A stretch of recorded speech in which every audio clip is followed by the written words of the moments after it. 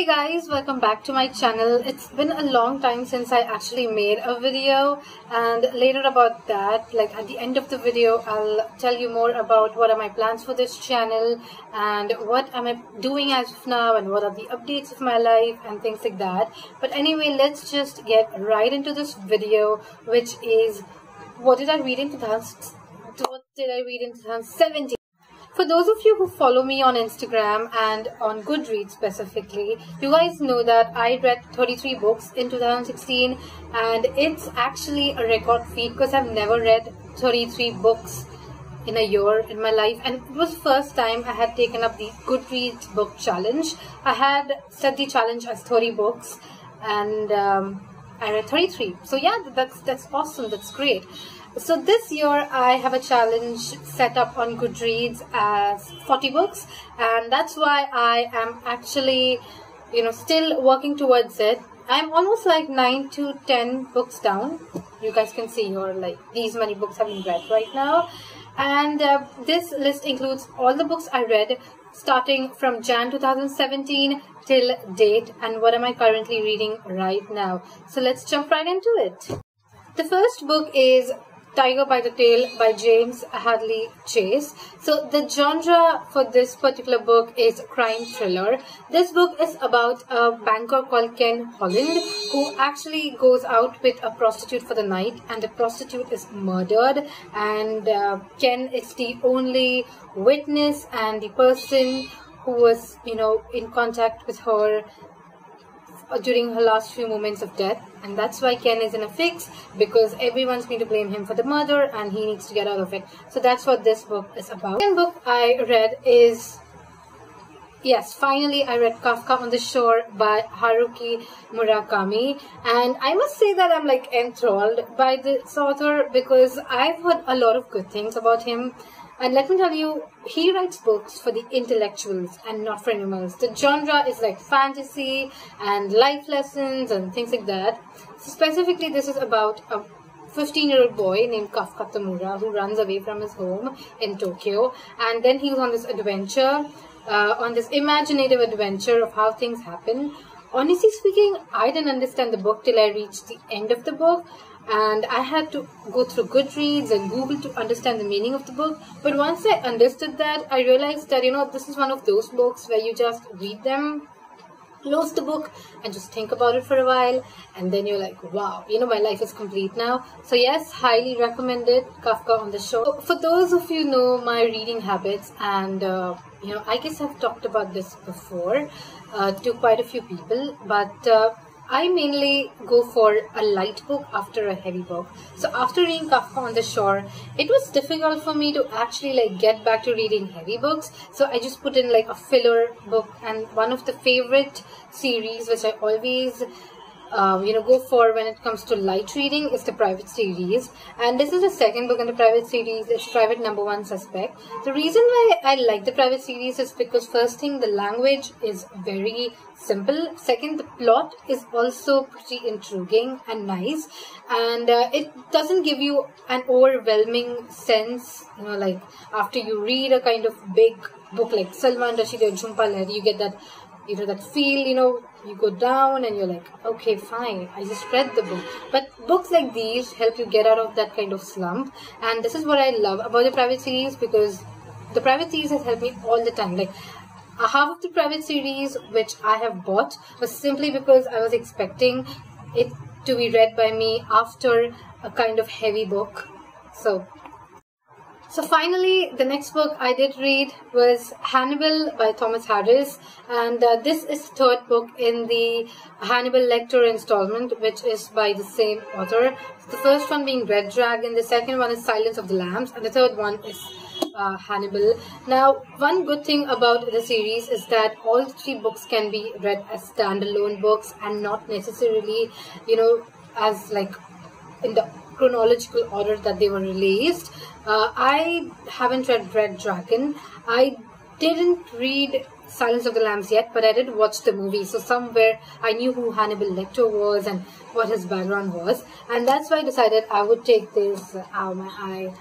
that's why I decided I would take this um, book by Thomas Harris, the third book, and let me tell you, Hannibal Lecter has been one of my favorite characters all through psychological thrillers and series because uh, this was a character inspired by the famous serial killer Ted Bundy, and uh, you know, exploring this guy's mind, Hannibal Lecter's mind is like wow, like it's like crazy. And let me tell you, like if you have ever researched more on how Thomas Harris wrote the book. He actually wrote the book with the help of FBI officers and you know all those people who were involved in the Ted Bundy case, and uh, like it's it's actually intriguing, lovely, and dark, thrilling. It's gruesome, but you know if you like such kind of books, then you should read this for sure. So after reading a dark book like Hannibal, I picked up this chick lit book which is called Can You Keep a Secret by Sophie Kinsella. Now honestly speaking, I wasn't expecting much from the book because my chick lit, you know, information like everything chick lit comes from Wattpad. And the reason I got introduced to this genre called chick is Wattpad. But you know I wasn't expecting much. So here kudos to Sophie Kinsella for writing such a nice book it is a very light rom-com and uh, you will actually enjoy it if you enjoy like those Wattpad books which uh, are like teenage and young adult and things like that. So this one is a thumbs up in the chick lit genre and um, I actually give it 5 stars on Goodreads and it was surprising because I normally don't give 5 stars to such books but then this one just touched my heart and it was it, it was a very good end and it was a very very happy book for me. So the next three books I happened to read were yes guys I read the Stranger Trilogy like finally. Uh, I was actually expected to read this much before because um, I mean I actually want to read this much before okay? Not, that people expected me to. And honestly I got the chance. Um, okay now honest uh, side note I actually got the second book as a gift uh, during a Christmas uh, you know Secret Santa uh, a thing which was going on in my office. So I could get the second book like for free. But then I realized it's the second book and that's why I went ahead and got the first book this is the first book. And after reading that it was like okay fine you know what? I want to know the outcome so I had to buy the second book. And then eventually after the second book I went for the third book. Now if you see my liking I didn't like the first book. The first book sucks. The language sucks and suddenly there is a woman who is talking to a stranger and i couldn't just digest that fact. But you know the, the this book ends in a cliffhanger and it makes you want to buy the second book. And let me tell you the second book is the best in the series just because it solves the cliff, cliffhanger and it's much better written. It's not slow. The plot points are good. And that's why you know the second book and the third book are much much much better than the first book. The first book sucks okay I'm sorry, Novoneel, but the first book sucks, but the next two books, they're nice. You know, commendable. So the next book I read was Degree of Guilt by Richard North Patterson. If you are a John Grisham fan, let me tell you, just forget John Grisham and start reading this guy because I find Richard Patterson much more better than John Grisham and this is one of the best law thrillers like ever. And uh, one suggestion would be that if you want to start reading the Christopher Paget series by Richard Patterson, that is, this is the second book, start from the first book because I had trouble understanding a few references in the second book which were there in the first book. So you should read the first book, such that you do the second book, and that that's that. But this this book is specifically about uh, Mary uh, Mary Carelli. She is a TV representative and um, she is basically accused of killing Mark Ransom, a famous American author, and what she claimed was that Mark Ransom was trying to sexually assault her. So that's when uh, her, you know, ex, you can say Christopher Paget, the famous public defendant, uh, defender, comes in and you know sets up a case for her. And this is a, this book is a roller coaster. It's basically everything you want to feel in a law thriller, including emotions, the crime, the thrilling part, and even lies. So this is one of the best or the best law thrillers ever out there. So continuing my women-centric, women-centric plot with women as the center, central characters and you know, the, the dark psychological part and things like that. For example, Girl on, on the Train is a book like that, FYI. I took this one up. It's called Pretty Girls by Karin Slaughter. This is somewhat like Gone Girl meets Girl on the Train and, you know, uh, many of these women-centric psychological thriller books put together. This is, I, am actually just halfway to the book. You can see the bookmark. This book is actually huge. I just realized it right now. But anyway, this is about Claire Scott and Lydia, who are sisters, and their eldest sister had Julia had gone missing you know many years back and how Julia Julia's disappearance affected their family and it broke their family down. And I haven't like completed the book so I don't know how will this book turn out to be. But I'm expecting this to be very nice because the start itself is very intriguing and very nice. So high hopes from this one. So the next book I'm reading uh, side by side with this one currently reading is 30 Women in Power, Their Voices and the Stories by Naina Lal Kidwai. Uh, Naina Lal Kidwai was the CEO of HSBC Bank and uh, she has curated over um, like about 30 stories from 30 women at high posts in different companies and uh, different uh, board meetings and how they had to overcome many obstacles like the glass ceiling work-life balance and things like that in order to survive in the corporate world. And this is a book that will help me because i am in the corporate world and stories like these actually inspire me a lot. And uh, this is a non-fiction. I'm kind of almost done okay these many is left. Uh, by the way this is like a magnetic bookmark later on that one. So this is how much that that's left. And i'm planning to complete this like pretty soon.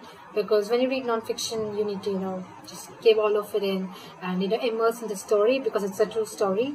So things like that. And yeah. So there you go. I'm just gonna twist this book stuff actually. So these are actually all the books i read in 2017 till date so if you want a detailed review of all the books I showed you here, it's there on my Goodreads. My Goodreads will be linked somewhere here and it's even there in the description box below. The next thing, obviously, please follow me on Twitter and Instagram because that's where most of the you know currently reading books come in and uh, where I actually post a lot about my art, about what am I doing currently and all that kind of assorted stuff. So yes, all the links are in the description and somewhere here around. I'll just like note it down. I hope I note it down, seriously. Okay, so that's that. So now that we are done with the video business, let's get back to my channel. Yes, okay, so it's been a very long time that I actually made a video and I realized it but in my defense, I have been very busy and you guys have no idea how busy have I been. And I'm not boasting, like you guys can see my Instagram and you know, like I hardly even post on Instagram. It's like been two weeks that I actually posted on Instagram and my weekends are busy too. So what is actually happening with me are a couple of things. Couple of things, yeah, right. The first thing is that uh, I've been working. So Monday to Friday I'm at work and Saturday Sunday is the only time when I get to make videos. And that's again time consuming. Because making a video actually you know in literally it takes six hours okay? So you film the video you edit the video you put music in the video you cut the video you put text in the video you do this you do that. It's like easily it takes like six hours of your time. And I kind of do have a life outside of this little box you are seeing right now. Not that I hate the box, even I'm addicted to this little box. YouTube. So yeah, like it's difficult managing time. But you know what? Now I have actually promised myself that I will make videos like kind of every week. Like upload videos at least once in two weeks if that's okay because we all have our busy schedules and we all should be managing time and prioritizing our work and you know getting it done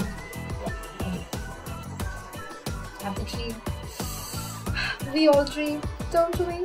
We all dream. Yeah. so the second topic I want to touch is what am I planning for the channel? So as you guys know, this channel has specifically concentrated on art and lifestyle. If you see my previous videos, I have a lot of art and lifestyle videos.